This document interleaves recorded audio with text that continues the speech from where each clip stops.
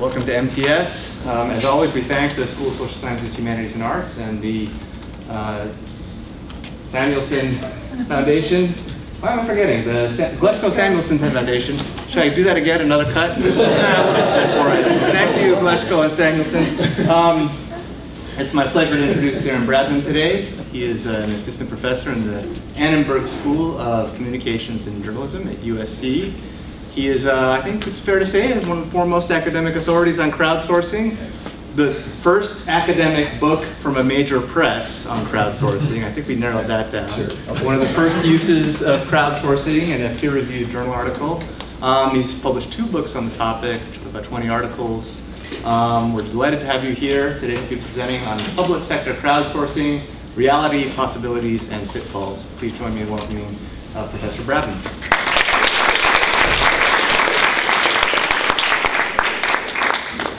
Okay, thanks. Um, it's my pleasure to be here. It's a nice campus. Um, I've enjoyed seeing the, the sense of community you have in this group, so that's really nice. Everybody gets together regularly and talks and um, has to see each other, which is always nice. Um, so what I want to talk about is, is um, crowdsourcing and, and, look at kind of some different types for understanding what kinds of problems crowdsourcing can solve. Um, and then kind of look at its possibility in the public sector, broadly defined. Uh, I've always been kind of concerned with, with how can we take crowdsourcing and, and really leverage it for something bigger and better. Not to say that its business uses aren't useful, but um, a lot of the research to date has been really, uh, what I've seen is kind of focused in a lot of business and management and innovation literature, but also in the computing disciplines. Um, so I've always kind of tried to pull back a little bit, take more of a macro level look at some of the cases and some of the possibilities.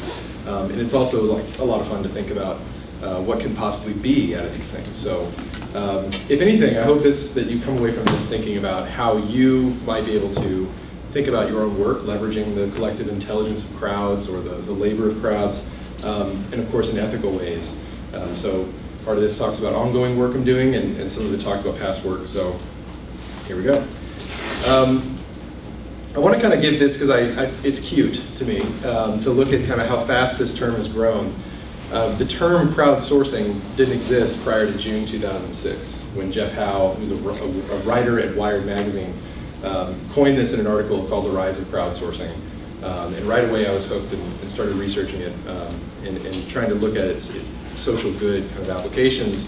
Um, but I always kind of periodically pull back and see how, how popular is this term.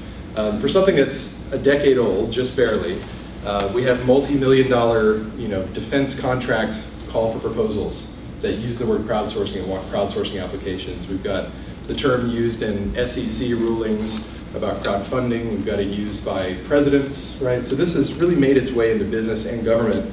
Um, and I like to look at, at, how it's rising. This is kind of a Google Trends document.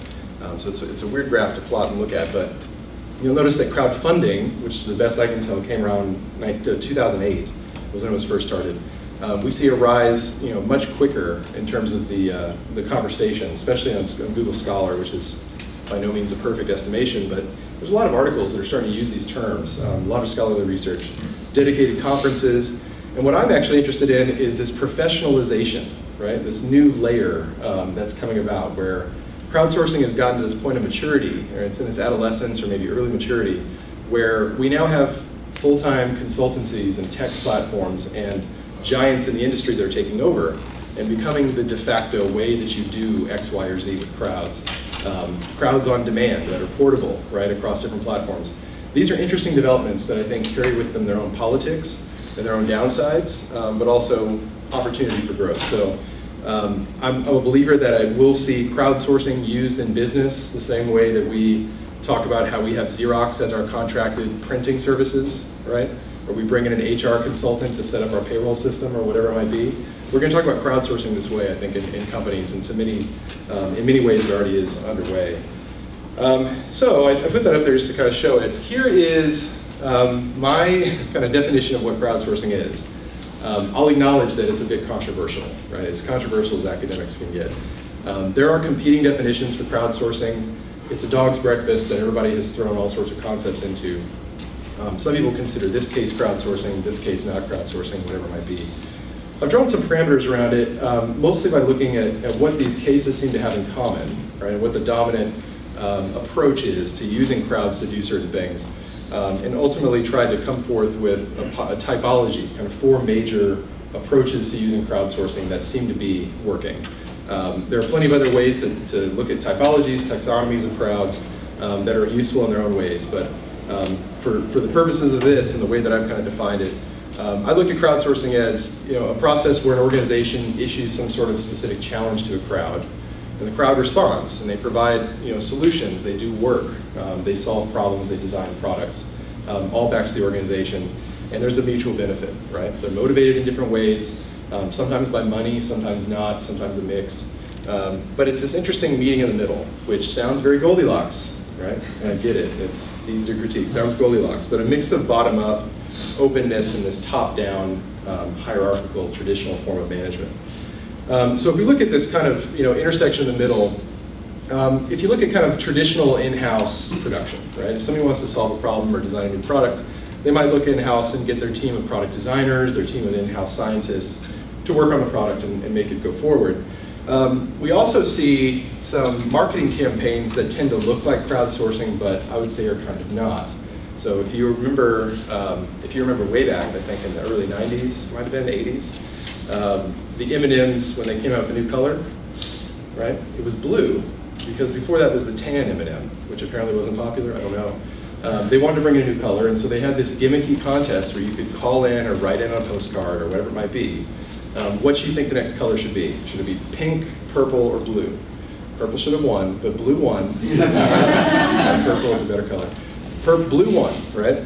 Um, and so they did this kind of gimmick where they wanted to get the crowd involved and get people involved in, in telling what they wanted. But they had already done the work of deciding what they were okay with, right? They already had a limited number of options. And so they were using the crowd to not really do anything intellectual, just to do a big kind of you know, survey, a big marketing research stunt. Um, and that's not particularly innovative, and I'd say that's a little too much top-down, right?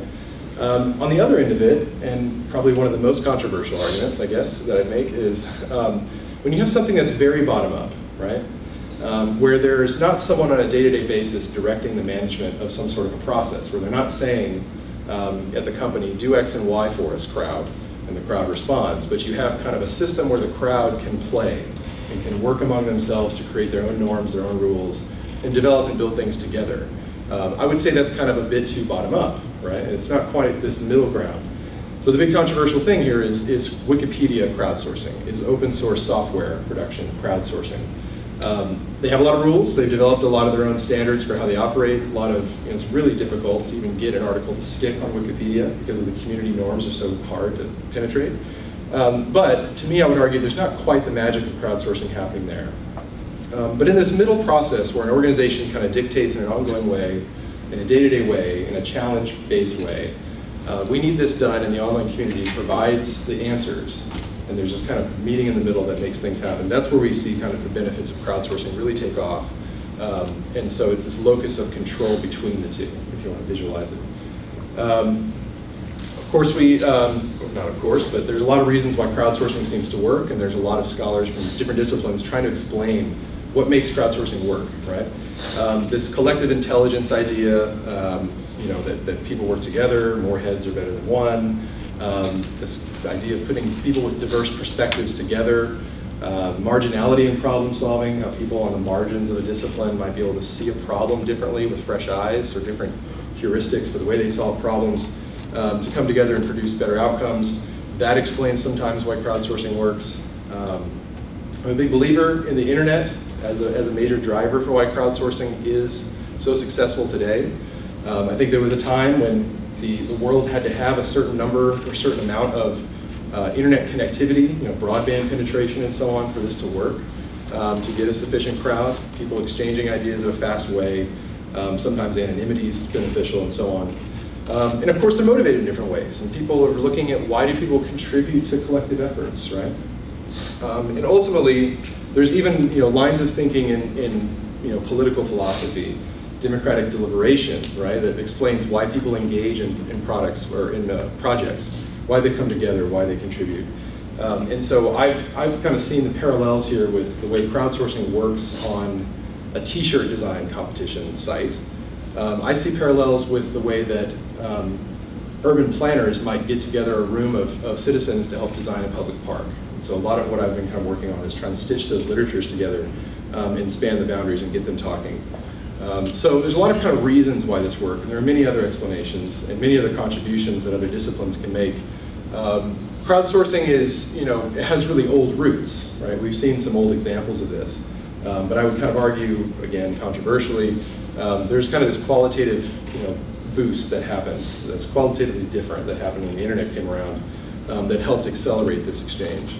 So these are kind of the, the basis for why it works. So ultimately, here's kind of the, the meaty um, first phase here, is I tried to develop kind of an idea of when would you use crowdsourcing? Um, very practical, very applied. Um, why would an organization decide to crowdsource? What can they do? Um, and how would they decide which, which type to use? Because they're all very different, as you'll see. Um, so if you, if you ask yourself, you know, what's your first, um, well, what do you have? Do you have an information management problem or do you have um, an ideation problem? Are you creating something new? Um, if you look at an information management side, and we go down this kind of left side here, um, the next question you might ask is, do you need to locate and assemble information? Do you need to get crowds to go help you find stuff, bring stuff back together in a certain way to make a bigger collective stuff, right? Um, so if you're building collective resources, you're kind of going this first route. And I'd call that this the knowledge discovery management approach um, to crowdsourcing. Whereas if you already had a big data set, you had information in hand, you wanted to then use the crowd to perform some sort of labor analysis to parse that data, then you end up with this other side, which is the distributed human intelligence tasking approach. Pack more words in it, it sounds more scholarly, and that's kind of what I was aiming for. Um, so let's look at some knowledge discovery management examples, and a lot of these are going to be drawn from existing public sector applications already, um, or um, private companies that are doing things that the public sector is using. Um, so on the knowledge discovery and management approach, the logic here is you're trying to use an online community to expand your reach, right? To expand your, your, your ability to tap into um, or to build collective resources quicker, better um, in, in, uh, on the internet. So good examples here are the, the Peer-to-Patent project, which was a pilot project with the US Patent Office. Um, it's now been expanded to several other countries' patent offices, and it's, it's become kind of, I guess, semi-permanent in a way. Uh, the US Geological Survey's Did You Feel It? Shake Map Ever use this? Maybe if you're new to California? okay, there's earthquakes, and they're real, um, and they scare me to death as a Houstonian. Um, so there's, a, there's the U.S. Geological Survey has a shake map, right, where they have sensors that, that can detect earthquakes, but they also rely on citizen input to come tell them how severe it was, how scared they are if they're injured, to help add to the complexity of their modeling. Um, Ushahidi and SeeClickFix, two great examples that use mapping techniques um, here's an example of SeeClickFix. Um, and as I go through these, I'm always curious to see who's heard of some of these cases. So SeeClickFix, hands. A half of a hand, I think because we have half a hand. Um, Fix, there's two halves, that's a whole, one whole hand. Um, so Fix is a site um, that exists and you can go and, and look at your city. Um, in this case, you got Raleigh, North Carolina up on the map, up on the screen. And what this is, is people can report non-emergency issues in their town. So if you have a down stop sign, a pothole that's really bad, some graffiti, broken windows, that kind of stuff.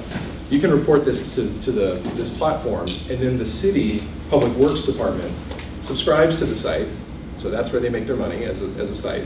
They subscribe to the site and they can reply in a trouble ticket kind of way, like an IT department would, to, hey, we've acknowledged that you have a, uh, poor road conditions here, we're gonna go fix it what the, the city benefits from is not only do they get better customer service, and they, they help citizens feel connected to the city, which is a huge benefit, right? Um, but they also are able to route their maintenance trucks in a more efficient way. Because normally what they'll do is they'll kind of periodically just drive the entire town and see what's up, right? which is a really bad use of, of uh, resources. So it helps them become more efficient, right? By building a collective resource, getting people to supply information in a certain format, in a certain place, they amplify their abilities right, to use their resources in better ways. Um, the Ushahidi um, map here is, is they were used in, um, I think first in Kenya after some uh, election fraud, election um, illegal activity that happened after a pretty hotly contested political election. They mapped incidences of violence and, and intimidation at the polls was then rolled out in Haiti after the earthquake, well, in many other instances between them, but in, notably in Haiti, to help coordinate resources and help people find each other. So even on the ground with SMS, really kind of low-tech solutions could say, I'm safe, or this road condition's really bad, or send aid here, and it helped them map out where the hotspots were that still needed to be addressed. And you can think of just many, many applications that do with mapping. Um, the U.S. Patent and Trademark Office, so moving beyond the mapping, you know, the idea of building collective resources again can move beyond just making some sort of visual map of things. Um, what they did was they, they, they worked with some, some major patent holding partners, um, you know, Red Hat and so on, and they uh, siphoned off a, a, small sample for a pilot project, and they posted these applications for patents online. And they said, who can come in and find evidence of prior art, right? Examples of, basically, is this a novel idea or not? Should we grant it protection under patent law? They found out that people volunteered their time, and they found instances of prior art out on the web, right?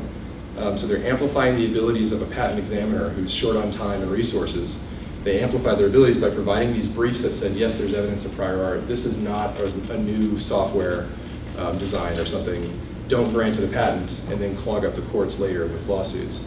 Um, so they end up making the patent office more efficient and more effective in what they did, um, all through volunteer labor, right? People who are interested in this, um, computer scientists, law scholars. Um, and so this has now been kind of scaled up and rolled out all over the place. So again, we're, we're expanding the reach, bringing more information in, um, to build a collective resource, which is you know, providing briefs to the government to do this better. Um, the other side of it is the distributed human intelligence tasking approach, right? So this is probably the one that might be the most familiar in the room. If you have a bunch of data that you need the crowd to do work on, um, you would then use a platform like Amazon Mechanical Turk. Heard of this? It's a popular one, I know, especially probably in this club. Uh, Mechanical Turk, right? A pretty groundbreaking, um, groundbreaking um, site that allows people to you know, post their data and it gets broken down into small bits of work, let's say, and you can monetize it and get people to do the work for you. And you're all pretty familiar with the power of this, a lot of the shortcomings of this, and so on, um, but fairly simple to use. And their fees have gone up, I've heard. So careful there. It's still pretty cheap uh, way to do things. Um, but it helps people get stuff done quicker. Of course, this is um, the interface you might all know. Um, but way you can approach it is someone who needs their data broken down and processed by a crowd.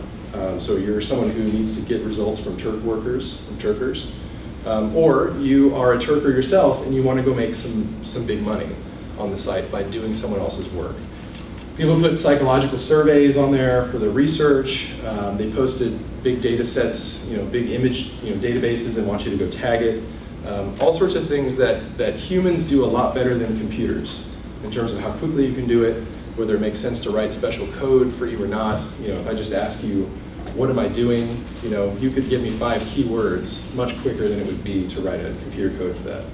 Um, so it's a, it's a way to kind of do that, and, and, it really makes things move a lot quicker. It's a lot cheaper, which comes with its own kind of exploitive concerns, and we can talk about the ethics later on, um, and has ultimately gotten a lot of results for people.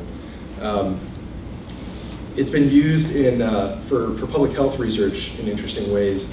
Uh, this is an example of um, some scholarly research that was put out on some tests that, that where they put um, medical brochures up on uh, Mechanical Turk and asked people to translate them, right, and work on the materials. So if you can imagine um, a city that might have, you know, two dominant populations that each speak kind of two languages.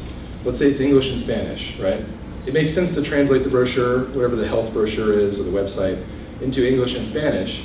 But what if you have kind of a small minority community that speaks a minority dialect of something, um, but it doesn't necessarily make sense or you don't have the resources to hire a translator to do that brochure, you could go on and possibly get someone to translate it for a lot cheaper. And so now you've increased your, your ability to serve a community that's more diverse um, in a much more efficient, efficient way.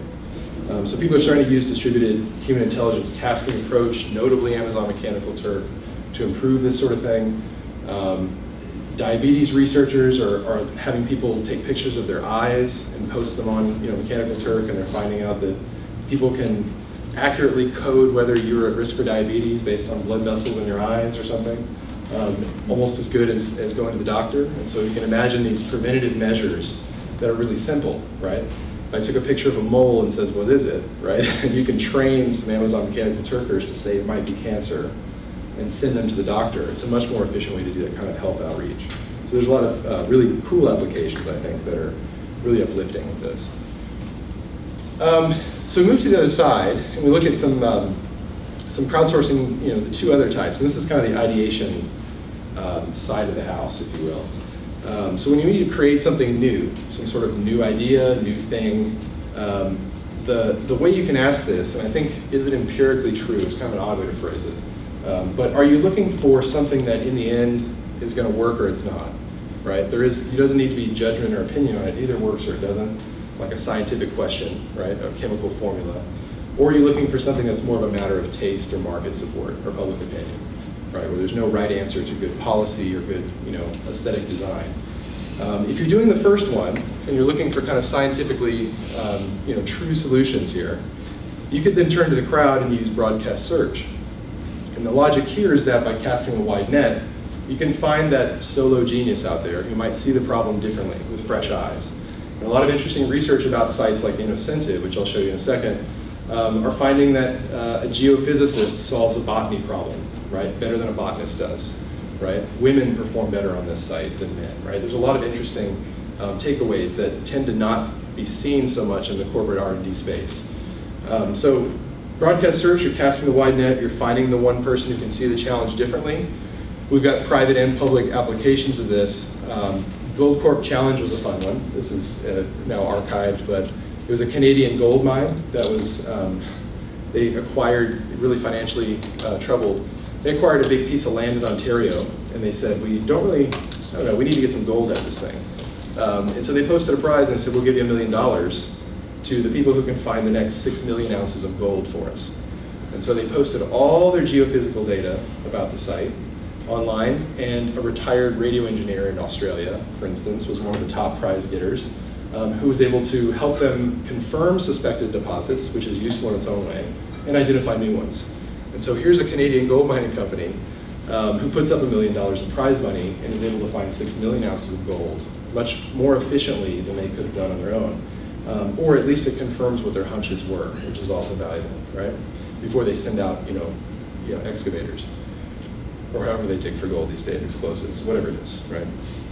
I get to talk about a lot of things I don't know much about, like gold mining and diseases and stuff. Um, and the President's SAVE Award uh, was issued, um, started in the Obama administration, I think in the first one, um, trying to get federal employees internally, that's a lot of people in the US, to find ways and propose solutions to, and provide, you know, the mathematical support in many cases for small changes that could happen in various agencies to save the government money, right? So some of the winning ideas here were instead of if a patient doesn't use their whole prescription at the VA, there should be some sort of system for reclaiming the unused pills or something and reworking them. You know, on the scale of the federal government and the VA system saves millions and millions and millions of dollars to taxpayers. It makes the delivery of, of uh, those services more efficient. Um, the Navy uh, has done reducing administrative distractions at the Navy, RAD, if you will. Um, and they found that their you know, Navy officers have found ways to make work safer um, for people on the job, make their work move faster, and so on. So these kind of small, small scale changes can really affect a lot. Um, but I want to look at Innocentive, and, and what's unique about Innocentive is they have a, a, VP in charge of government outreach. So this is, this is definitely a company that works with the federal government in many ways, under the umbrella of a challenge.gov um, apparatus, which I sent to you, um, and also through the NASA Tournament Lab and a bunch of other places. Um, but they, they definitely are trying to get government agencies to post um, challenges online. Here's the way it works, and you all, if you have a scientific mind, can go make some money on the site today. And we're talking real money, right? We're talking not just a few pennies like you might make at Amazon Mechanical Turk, um, doing kind of tedious little tasks. We're talking 10, 20, 30, $100,000 to win a solution. Now it requires, on average, about 40 hours of your time for each solution, and you usually don't win. Um, but if you win, it's a pretty good takeaway. What happens is um, you know, this is for, I barely know what this really is saying, enhancing bioefficacy of low water soluble active ingredient for seed treatments, of course. And what this is, is probably posted by a company like Monsanto or Conagra or somebody who has an internal scientific R&D team. But they've determined that this problem is not worth paying their, their internal team to plod through and figure out, or they can't solve it. And they've spent years already working on it and lots of money. So they turn to a site like Innocentive and they post up a bounty, in this case 20,000 US dollars, and they say, come up with a solution. Sometimes it's just a written solution based on prior research that you can pull out of academic articles, theoretical solution that's just on paper. Sometimes they want you to actually test in a lab and, and report results that are replicable. But either way, um, you get paid more for the latter. If you're right, right, if this treatment works, if your chemical works, if your whatever works, um, you get the money, they get the, um, the intellectual property on the idea. You get to put it on your CV, which actually many people who win these challenges in Innocentive do. They brag about it on their academic CVs. These are not, um, you know, 17-year-olds in their garage tinkering with their, you know, chemistry sets. That's a myth, right? Amateurs are a myth in a lot of crowdsourcing um, apparatuses. A lot of times they're professionals who self-select into these arrangements. These are by and large professional scientists. They have masters, PhDs in various science disciplines um, who choose to do this work. To date, I don't think there's anyone that's actually won a challenge that didn't have a degree. Um, they aren't all science degrees, but they're usually pretty scientifically trained. Um, they work professionally as scientists. This is their side hobby, right? Um, or they're an academic and this is the way to stay sharp. Um, so you can do things like this, and of course, if the company gets a breakthrough like that, they, you know, they expose themselves to some risk. If you think that's Monsanto posting that, that's they're looking for some sort of seed treatment. If you're a competitor, you can freely browse this site and kind of guess what your competitor's up to. So there's a lot of risk they take on by exposing what they're up to. Um, there's detailed, you know, briefs about what they're looking for and everything. But of course, if the company can take that leap forward, it's worth it to them, right? And a lot of companies who are willing to take the risk tend to benefit. Um, here's an application for it in kind of more of a humanitarian way. Um, so a lot of agencies are starting to use Innocentive for various things. In this case, they're looking for medical waste incinerator for humanitarian emergencies, right? So can you design um, a high performance, simple, efficient, and durable incinerator that's safe to operate and affordable in low to middle income countries, right? It must be lightweight, and easy to transport and assemble, build on site with accessible materials, right? And skills. So if you can come up with a design for this and you win the challenge, you win this money. In this case, $20,000, um, and the option to, the opportunity to build, um, to improve the world, right? Um, so these are kind of the, the broadcast search is when you're looking for kind of a solution that in the end will perform the way that you needed it to according to the brief. There's a right answer, right? But what I think I'm most excited about, personally, this is how I found and fell in love with crowdsourcing myself, um, I was a fan of Threadless.com. Have you heard of Threadless? Sorry, I said I'd ask along the way. You've all heard of Cambridge. Threadless is a t-shirt company. Um, it's changed a lot over the years. Um, it was in the original kind of article written by Jeff Howe and, and Wired that talked about what is crowdsourcing.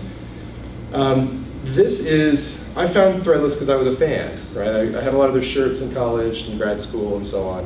Um, and then tried to figure out, gosh, what is this really cool business model? It's really fascinating to me. Who else has heard of this? And then I found the article about it and thought about ways that we could take it and, and use it for the public good, um, broadly defined. So if you have a, an idea, ideation challenge, but there's no right answer, right? There's no effective threadless t-shirt, right? There's no right or wrong t-shirt.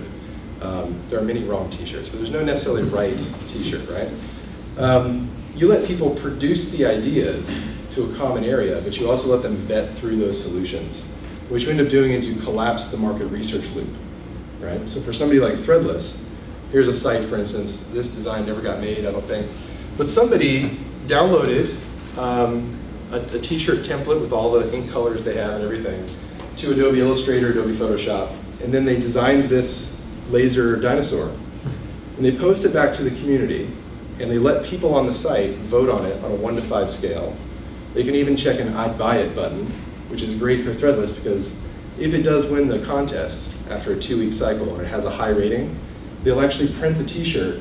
They'll notify all the I'd buy it button clickers to say, come get it first.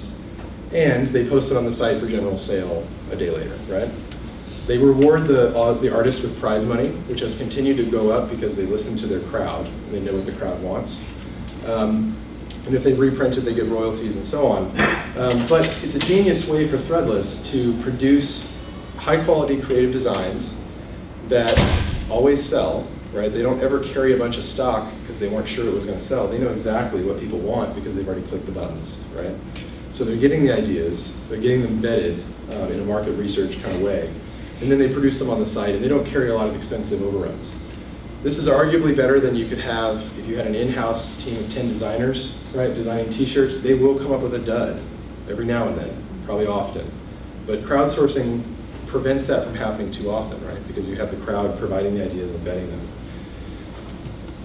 We've seen this, this logic too with uh, the Doritos Crash the Super Bowl campaign. I think it's probably like its seventh year or something now. It's been around for a long time. Um, or no, it started in 2007, I think. And it's now expanded to Pepsi Max. But the Doritos brand wanted people to produce and then vote on their favorite 30 second commercials featuring their chips, right? Real high sophisticated stuff like pugs um, running after chips. I have two pugs, so I like this one. Um, but people submit these 30 second ideas. They're not amateur quality. These are all professional filmmakers mostly. They've all been to film school, they have access to really great equipment. So these are not amateurs, right? They're really professionals trying to break it in, break into the business. They submit their, their uh, ads to the contest. People can, around the world can vote on the contest and the highest rated ones um, are finalists and the winner and usually additional ones get aired during the Super Bowl, which is great exposure for a young film student. Um, and they win now pretty substantial prize money and a trip to the Super Bowl, which they didn't originally get in the first time. Can you believe that? You win the Super Bowl contest, you don't get to go to the Super Bowl. Um, so this is an idea of crowdsourcing as well in, the, in what I call the peer-vetted creative production approach. Uh, remember, the more words, the better, right? So um, peers are vetting the ideas that are produced um, from their community. And it helps them identify the best stuff rather than having Madison Avenue ad execs guess what people want, right? And they're gonna hit a dud every time. They spend a ton of money promoting the contest itself, right? So is it, is it cheaper for Doritos to do this? To offer a million dollars in prize money and pay to promote the thing like crazy? Is that cheaper than just paying Madison Avenue? I don't know exactly what they're paying, right? Let's assume it's the same. It's still more worth it because they get more people involved and they get them active on social media voting on their ideas and there's less likelihood of them hitting a dud, right?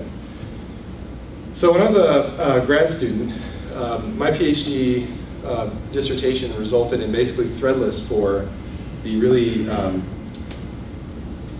sexy topic, uh, bus stop shelters, right? Um, went after, uh, teamed up with an urban planning professor and went after uh, some grant funding from the Federal Transit Administration and was lucky enough to get it. So this kind of supported my PhD um, at the very end. And I published a lot of stuff out of the data. Um, but the Next Stop design process uh, project was, was launched. Basically, it's threadless. And if you notice, there's a five-star rating system that you can vote on. You can make comments on the designs. You can upload designs with the description.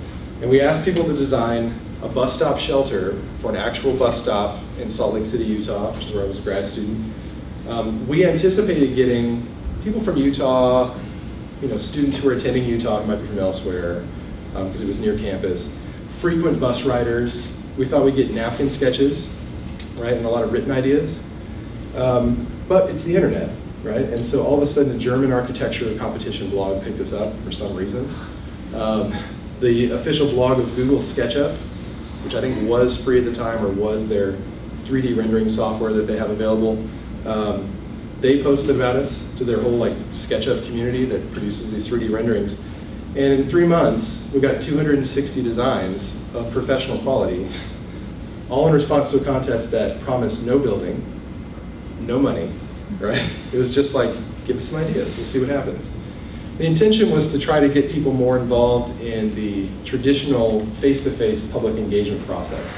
Whenever they plan sort of public structures like this, they have these big workshops and town hall meetings, town hall hearings, um, design charrettes, more intensive design workshops and so on, to help people design and feel engaged in their city planning, right? It's part of a legal process to vet the ideas first and make it public. Um, this was to see if we could get more than just the, I think their demographics in Salt Lake City for the last you know, dozen planning activities they had with the transit system was the average age was 63, all white, mostly women, right? Some of which didn't ride the bus at all. They just had strong opinions about where bus stops should be, um, as you can probably imagine with not in my backyard attitudes.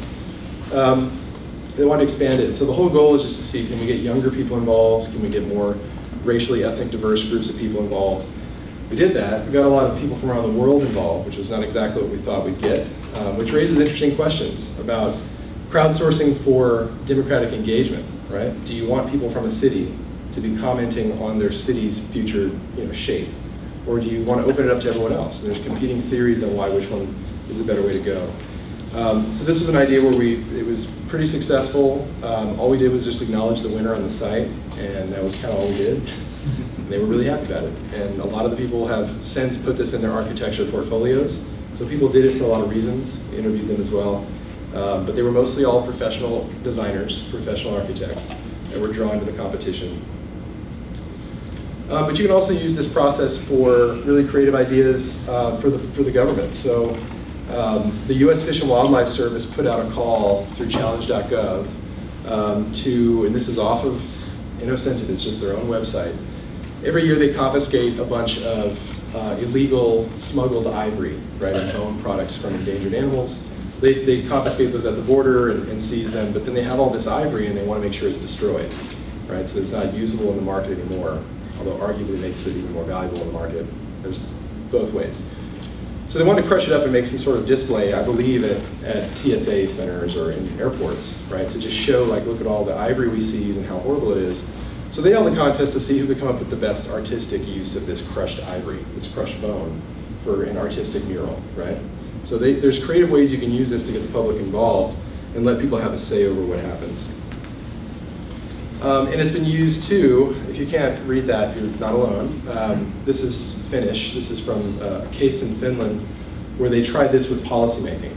So there was an off-road vehicle policy um, that was up for renewal or needed to be rewritten. Um, you know, are people allowed to take their snowmobiles, you know, wherever they want when it snows, that kind of thing.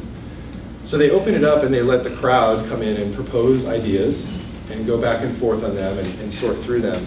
Um, and I believe this law did pass of course, if you remember, Iceland tried to, to crowdsource their entire constitution after their economic collapse, and they almost, almost um, But it works in, in countries that have kind of small populations that are pretty, fairly homogenous in their cultural backgrounds, who have already good attitudes about democratic engagement to begin with. Um, but the idea of crowdsourcing policymaking is, is definitely you know, viable. And we've seen some cities that have tried this. Participatory budgeting is pretty popular in some cities um, where citizens get to vote on where they want their dollars spent. Um, so this, this idea of having, you know, there is no right solution for what the laws should be about off-road vehicles. But the crowd has a good idea of what they want, and they're the ones that ultimately have to with the decision. And so they're really good to involve not only in coming up with ideas, but letting them sort through the ideas of their peers.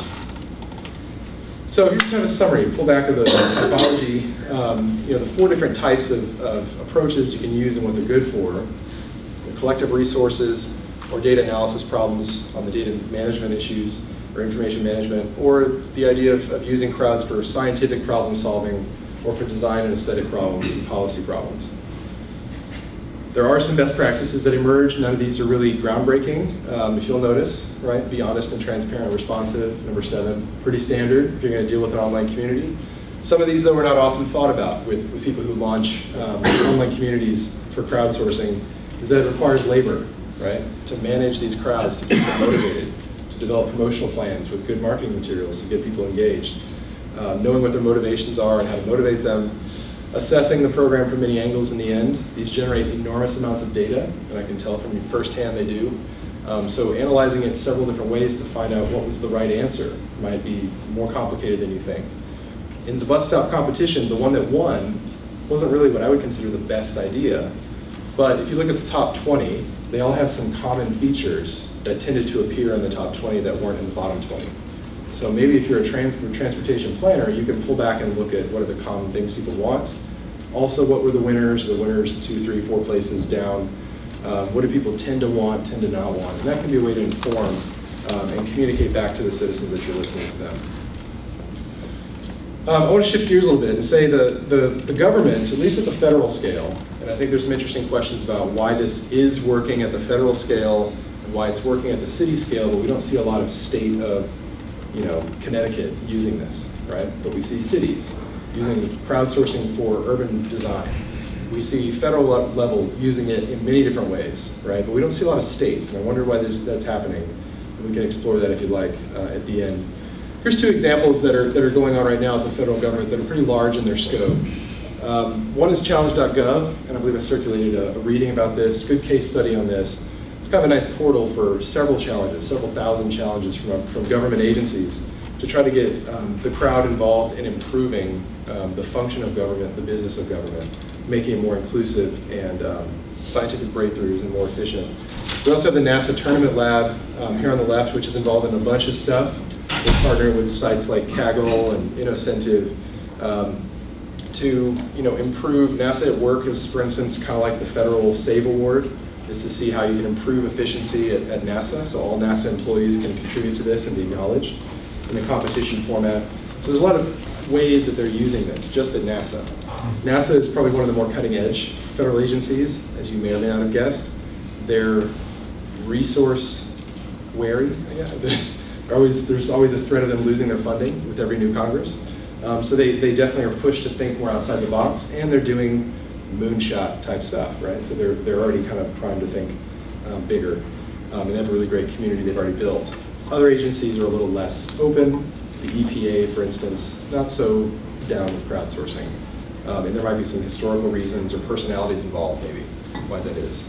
Um, but I want to kind of look at some more, some more interesting. How can we use crowdsourcing beyond what's already being done for the public? Um, and, I, and, some of these are, are, pie in the sky, but I think this is kind of where it gets really interesting, is to start to think about, okay, so what now, right? How can we solve various problems? Um, do you remember when the uh, Malaysian air flight, um, Malaysian air flight something, 330 or whatever, went down in the Indian Ocean? And they, they kind of are just now starting to find pieces of it to confirm it went down. Uh, but it was gone for a long time, right? And nobody knew what happened to it. So they sprung um, Tomnod into action, right? Where you could go on to you know, walk through and get the public to tag various bits of satellite imagery with what they thought was an oil slick or a piece of aircraft wing or something. And that helped improve, you know, and they used it in the algorithms and so on to improve their search. It wasn't ultimately very helpful, but it was a way to get the, the, the public involved. And what was actually really helpful was they, they eliminated a lot of terrain, right? They removed it from the search, which helped them focus on other areas. Similar occurrence, similar in some ways, right?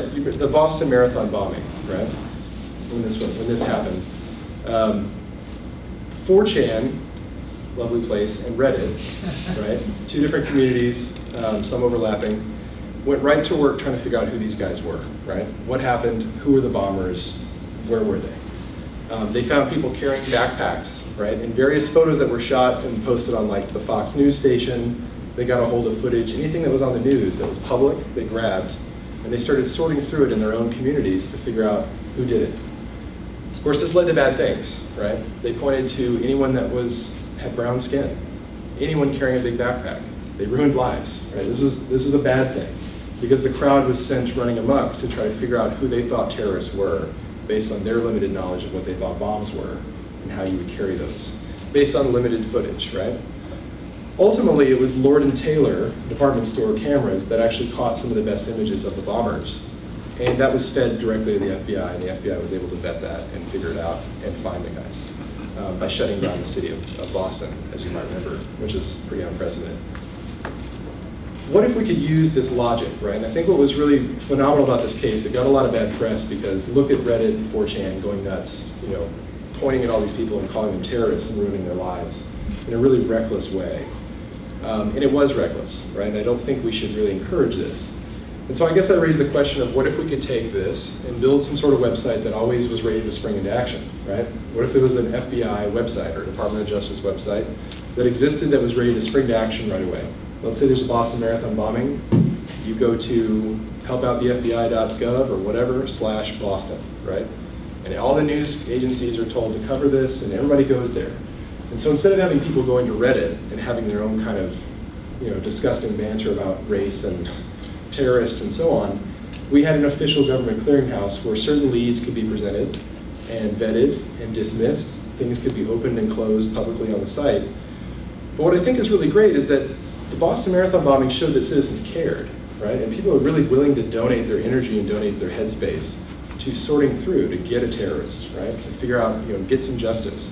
What if we had a way to funnel that interaction through a more official means um, to help citizens really feel like they're part of it and help them, you know, potentially be rewarded and acknowledged for that work? Um, people are remarkably altruistic, especially in moments of crisis. And so there's a way to kind of funnel that energy. And to this date, I wonder why the government hasn't done this, right? These things unfortunately happen all the time. Um, we have bombs, we have shooters. It would be great if the news came on and said, of course, if you have tips, go to fbi.gov slash San Bernardino, or whatever it might be. People could go in and look up that um, information. So we could use it for you know, homeland security issues for policing, of course many downsides to that as well, ethical problems.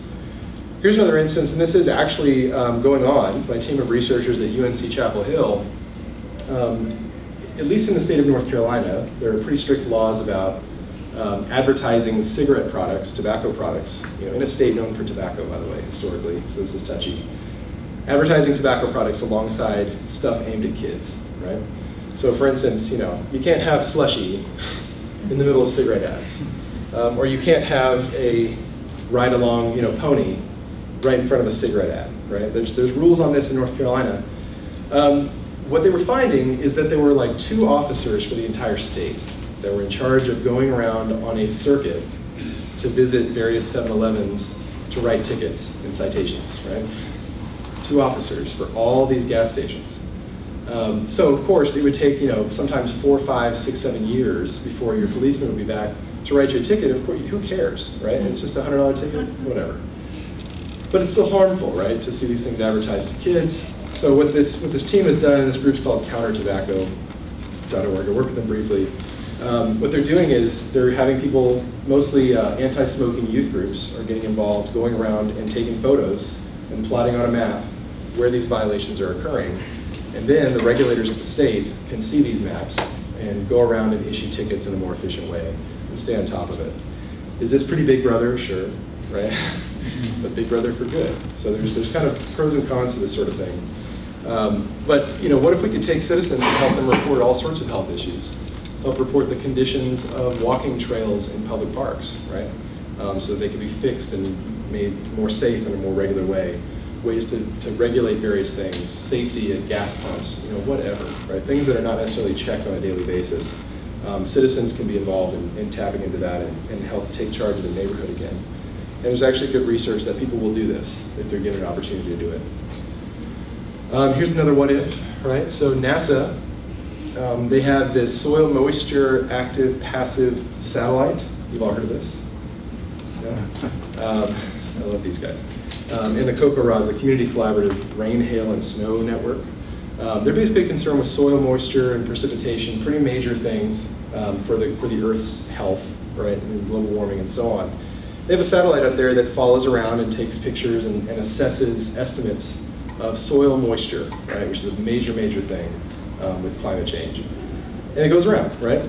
This satellite's already past due and could go dark any moment. And given the funding, might not be able to be replaced for many, many years. This model that they get from these satellite images is pretty good at predicting the accuracy of the soil moisture and tracking what's happening. Um, but of course, you can go in your backyard and scoop up soil, and it's even more accurate. So what they're, they're, they're thinking about doing is getting people mobilized to go out, get cheap little sensors for their iPhones that can measure soil moisture, and anytime a, a satellite goes overhead, it dings them and says, hey, in the next 30 minutes, while the satellite is getting your actual reading, can you go out and scoop moisture and report it back? And people are actually kind of willing to do this. It's something that might roll out soon. And what would happen then is that they can provide this missing piece to this complex model. If the satellite went dark, they could rely on citizens to provide a pretty accurate estimation until they could get a satellite going. So there's ways to kind of you know bring citizens into developing these pretty complex um, you know predictive solutions. So if you can get citizens on the ground to collect soil moisture or whatever, it's a great way to provide a backup for if these satellites go down, if these other systems that exist. Um, going back to, to, Homeland Security concerns, there's um, the BioWatch program, for instance, is, is rolled out by DHS. Um, these are like refrigerator-sized um, metal boxes that exist in strategic points of interest. And they always make a big, point, big deal about this at the Super Bowl. They'll roll it out. And it's, you know, the reporters stand in front of them and go, what is this Department of Homeland Security box? And what it is, is just a sniffer that looks for biological agents that have been released in the air. Um, so they can kind of act quickly and prevent and, and get people to doctors. Um, so if you can get citizens involved in you know, installing sensors on their homes or something when they become more automated, um, there's a lot of ways to imagine what can be once the technology catches up, or even in certain ways now, in getting people to act um, to help in these situations. Um, and another what if here, what if we could use um, sites like SciStarter? Have you heard of SciStarter? SCI, no? Gosh, you just, giving me all sorts of sites today, this is great.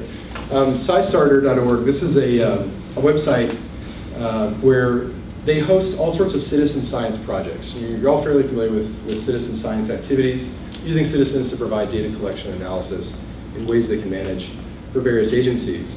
What SciStarter tries to do is provide a one-stop shop for museums, independent researchers, researchers at universities, and some federal or, or small, small agencies can post their projects and say, we would like you to go out and count butterflies today. And it's aimed at fifth graders, right, or whatever. And they go out and they, kids can get involved in counting butterflies, or more sophisticated. You know, let's tag some stars um, from images we've captured. What if we took a site like this, right, and added more oomph to it, right? What if we had something like a U.S. Citizen Science Corps, right, which is an idea I've kind of been batting around.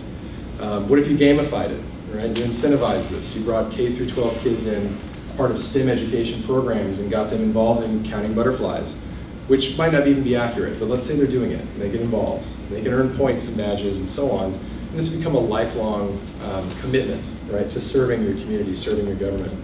Um, and what if we frame this, you know, this is what we consider to service the country, right, which is kind of a provocative thought. When we say I served my country, we almost always mean military service, which isn't a bad thing, but could we enlarge that, right? So the people who want to serve their country by helping the Smithsonian catalog bugs, right, or whatever it is, um, or helping scoop soil for NASA and build up points. So eventually they get, you know, a behind the scenes tour at the Smithsonian once they've reached a certain level. It'd be interesting to think about a lifelong engagement with science, a lifelong engagement with your sense of pride in your community, your sense of national identity perhaps, all wrapped up in some sort of a neat platform.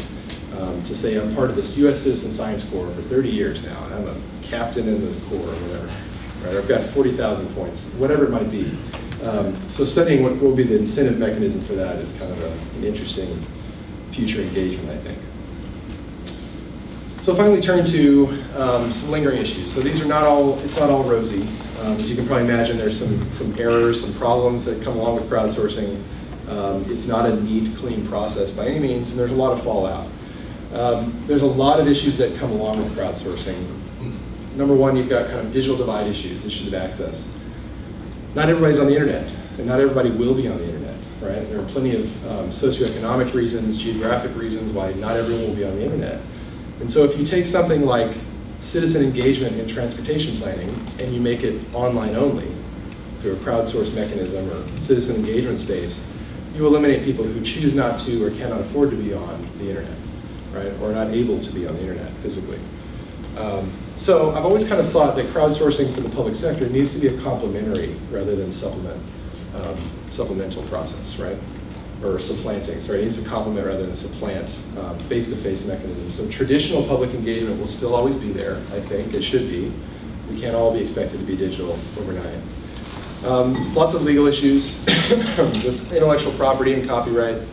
Um, there's already interesting kind of rules about this. That innocentive, if you submit someone's idea and somebody takes it and so on, you can sue, and there's, there's complex arrangements. But as we imagine kind of moving forward, um, we have intellectual property. We also have free speech issues, right? If I'm hosting an online public engagement space um, to discuss the new skate park that's going in downtown, and I get people who come in and they curse and their ideas, you know, are one way or another, it becomes interesting to see what their public forum rules are for how you censor or downvote or hide these people's ideas. Because if they could say it in a face-to-face -face meeting, they should be able to say it online. But we know from, from bubbles of thought that people can kind of you know, circle down the drain with each other and, and it becomes the comment section on YouTube and it's a bad thing. Um, so there's some interesting kind of design decisions that need to go into this that need to follow um, law and free speech norms. Labor issues and exploitation, this is kind of running um, through. There's, there's a sort of loosely organized group called No NoSpec, which pushes against the um, speculative labor thing that comes with crowdsourcing. Um, lots of contests, you know, come win our design contest by submitting your design, and then you read the fine print that says, we own all your ideas, whether you win or lose. it's not so good if you're a struggling designer um, or a successful designer. Um, so a lot of, it's really important to, to design apparatus that, that rewards people only when they've won something, right? Only when they've actually made it, and not to take their ideas. Because we're starting to see some organized efforts now from NoSpec which is mostly industrial designers and graphic designers pushing back on exploitive contests. Um, there are now, there's been a lawsuit that was resolved um, privately. We, it was, I don't know the amount, but it was um, Otey v. Cloudflower, Crowdflower, I think. It was about uh, minimum wage laws with Mechanical Turk. So people are starting to push back and say, if I work full-time on Mechanical Turk and I can't make a minimum wage, right, what does that say? And it's an international space too, so it's even complex what, what a living wage really means. Um, and we see some, some really great researchers like Lilly Irani at UCSD, who's doing work on, on uh, labor issues and kind of union Bill of Rights idea um, with Turkers. Um, it's interesting to see how professions are changing. Some of them are being destroyed entirely almost. Um, like stock photography is kind of eradicated now because of iStockphoto. Um, but a lot of industries are changing. And so the idea of, um, first of all, being an online community manager is a new profession that really didn't exist 10 years ago. And now they hire like gangbusters, right? They hire a lot of my PR students who come out. Um, but managing these online communities for productive crowdsourcing engagements is going to be a new skill that's going to have to be taught somewhere, right? Um, and also, new professions are just going to have to live with the idea of crowdsourcing and crowdfunding. It's a normal thing. And so if you're a, uh, an industrial designer you design, design you know, spatulas or something for your kitchen line, you're going to have to get used to the idea that your company might be crowdsourcing designs of spatulas from here on. And they still value your idea and your, your, your perspective as a professional designer, but now you have to know how to manage these projects with crowds, how to give credit, to award contests. It's going to be a whole new skill set that's emerging, is how to deal with these, you know, when to know to reach out for intellect and bring it back in. Um, what I think is most intriguing for the government sector, for the public sector here, is this idea of what I call the consultative layer. And this is kind of research that's unfolding with um, PhD student of mine, Kristen Guth, uh, at USC, and we're looking at um, this idea, this professionalized space, right? I talked about how crowdsourcing is becoming very professionalized. Um, what's going to happen now when these tech companies take over and they have these pretty hardwired political perspectives or design decisions that went into the platform initially that are still there, right? These affordances of the platforms, the politics of the platforms, how are they going to shape future interactions between cities and, and citizens? Um, and so, you know, you've got this kind of, these tech vendors and their platforms, these consultants, are kind of this layer between citizen and government and what comes with it. Two examples from some interviews we've been doing with, with the founders and CTOs of some of these, these firms that are now you know, mature and robust, that are starting to acquire their competitors, right? So we're seeing an emerging dominant couple of firms that are about to take over, including a dominant one that just went belly up suddenly, um, overnight, which is interesting. Um, what's going to happen with them? So here's an example you know, what, looking at the, the ideals, the normative ideals of deliberative democracy, right? Um, there's ideas of accountability and all these sorts of things. Um, this tension between should someone from the city be the one that has the authority to comment on the design of the future city It's an interesting question. Or, following open innovation research, we want to open it up and get great ideas from everywhere. These things are at odds, right? Um, and here's illustrated with two different founders who don't know each other. Um, there's a, there's a woman at, at Colleen Hardwick, who um, their whole company exists to provide this, you know, 10 different layers of, we will make sure that this person is only from, you know, Vancouver for the Vancouver bike path discussion. Um, and they believe that people will become more influential the more authenticated they are. So that's their whole business plan is to make sure that if you do an online engagement, they're from Vancouver. Meanwhile, you have somebody like Nick Bowden at MindMixer, right? Who says, we authenticate you're real, but we don't really verify your identity or location. Who cares where you come from? If you were in Kansas City and you did a bike path, right, we want your expertise in Nashville, right? Which is an interesting perspective, and they're both kind of right, right? So these, this is a tension that's, that's baked into the design decisions of a tech platform. And so when a city is choosing a vendor, they usually choose them based on price and kind of their past clients. They don't think too much about some of these levels perhaps. And unfortunately, as something like MindMixer starts to eat competition and starts to take over, they become the dominant paradigm, the dominant way of thinking and governing people's actions and interactions with the government. Um, and I think these are pretty important questions that need to be asked. Um, here's another example too that, that talks about kind of, you know, one particular political perspective on, um, on urban development, right? This is very anti-big box, anti-strip center, um, which of course there are people who are for this type of development, right? Um, planning and design for a better world is kind of part of their mission, but we don't want Home Depot and Cheesecake Factory. We all know that's not good for anybody, right? So we're not going to do it, right? So they actually won't take clients that want to build that sort of thing. So we have another tech company here. Um, this is the Sasaki uh, crowd gauge tool um, that says we just this is not who we are. And so if you're going to contract with a site like this to do your citizen engagement activity, to design your, your urban space, they are going to push their own vision of what they think walkable new urbanism is, right? Which is full of its own kind of pros and cons.